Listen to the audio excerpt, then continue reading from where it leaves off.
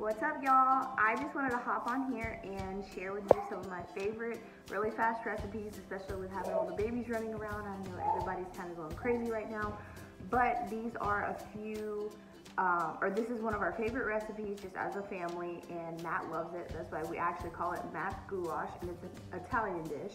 Um, it's just some Italian noodles. You can use any ones you want and then we use spaghetti sauce and then it has hamburger meat and cream cheese and cheddar cheese, and you'll see I'll add all the ingredients. But um, really easy, really customizable. You can add or not add whatever you want to this recipe. I'm just gonna show you how I make it.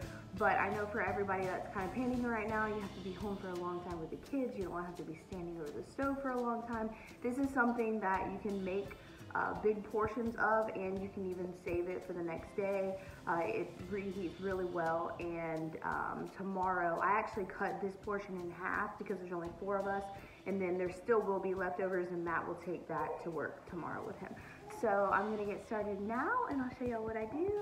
I hope that y'all are staying safe and healthy and let me know what you think about these recipes below. I would love to share more of these with y'all because I have a ton and I've already done like a huge grocery haul so I am ready to start cooking. All right, first things first, I'm going to cut up a one of these green bell peppers and then one of these onions. I'm only gonna use half of this onion and then I'll use the rest of it for our meals tomorrow. Um, just because like I said, since there's only four of us, I've been trying to do smaller portions with things, so we only need really half of this onion. But I really like how the bell pepper tastes in this recipe, so we use the whole bell pepper. Um, excuse this belt. Y'all know it's been a long week. These kids at home this week, so excuse that belt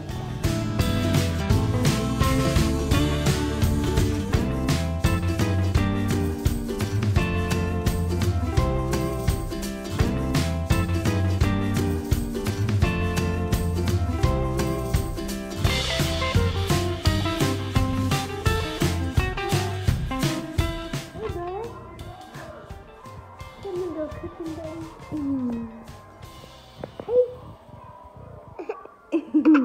Here are a few of the ingredients that you're going to be putting in there. We have some mild cheddar cheese. I do two ounces of cream cheese. That I only do half a pound of ground beef.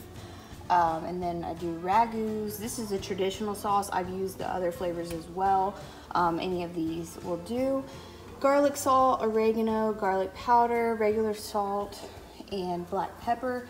And then um, this is the pasta that I use. And I only do half of this box only because there's four of us. That's also why I only do half ground beef because um, it, I can just get one pound of a ground beef package and then use that thing. I cut it in half and then I can use it twice. So yeah, and here's our water boiling. I'm gonna put the pasta in.